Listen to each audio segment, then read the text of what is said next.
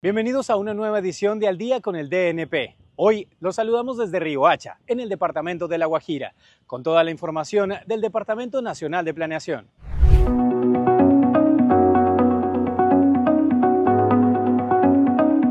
En Popayán se llevó a cabo el cierre de la primera fase de la misión especial por la transformación territorial y la consolidación de la paz en el Cauca iniciativa del Gobierno Nacional en cabeza del presidente Gustavo Petro y la vicepresidenta Francia Márquez y articulada por nuestro director Alexander López.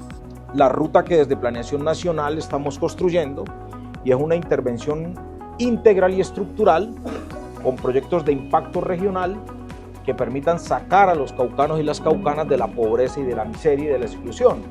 Eso significa proyectos estratégicos en agua potable y en saneamiento básico, proyectos estratégicos en salud, en educación, en desarrollo agrario, pero también en transición energética. Esta estrategia busca que el país reconozca la profunda crisis social y humanitaria en que se encuentra la región y avanzar hacia soluciones estructurales que respondan a las problemáticas que históricamente han afectado al desarrollo económico, social y cultural del departamento del Cauca. El Departamento Nacional de Planeación llegó a Cali para instalar la Mesa Pacífico Capítulo Valle del Cauca del Sistema Nacional de Cooperación Internacional.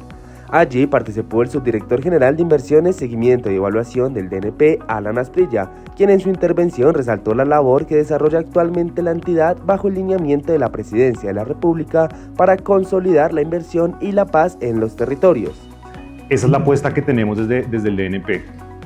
Tenemos y necesitamos intervenciones territoriales estratégicas, coordinadas y que permitan dar eh, un salto para llegar a esa paz total que tanto anhelamos. La Mesa Pacífico, capítulo Valle del Cauca, abordó temáticas como la superación de la pobreza extrema, la construcción de paz, el cambio climático, la equidad de género, el desarrollo de nuevas tecnologías para apalancar la productividad y el desarrollo económico.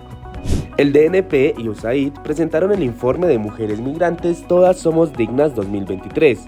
En su intervención, David Flores, director de Gobierno, Derechos Humanos y Paz del DNP, indicó. Aquí se están produciendo información, datos, cifras de calidad que están permitiendo conocer este fenómeno en detalle, digamos, de cómo Colombia se está convirtiendo en un país receptor de migración. Y aquí un elemento en particular muy importante, como dentro de todo ese mar de información que podemos tener, un énfasis especial sobre la condición de la mujer migrante. El objetivo de este informe es contribuir en el diseño y priorización de las políticas y estrategias que incorporen medidas equitativas y eficientes para alcanzar la igualdad de género y el empoderamiento de las mujeres migrantes. En la ceremonia Innovation Land Summit 2024 se rindió homenaje al DNP por sus contribuciones al desarrollo de la transformación digital en Colombia durante la última década. Es un honor poder recibir el galardón otorgado al Departamento Nacional de Planeación como entidad que ha hecho aportes significativos a la transformación digital de Colombia. Llegamos al final de una nueva edición de Al Día con el DNP. Los invitamos a consultar nuestra página web www.dnp.gov.co y revisar las publicaciones de planeación y desarrollo, un portal que brinda análisis e información de interés para todos los ciudadanos. Colombia, potencia de la vida.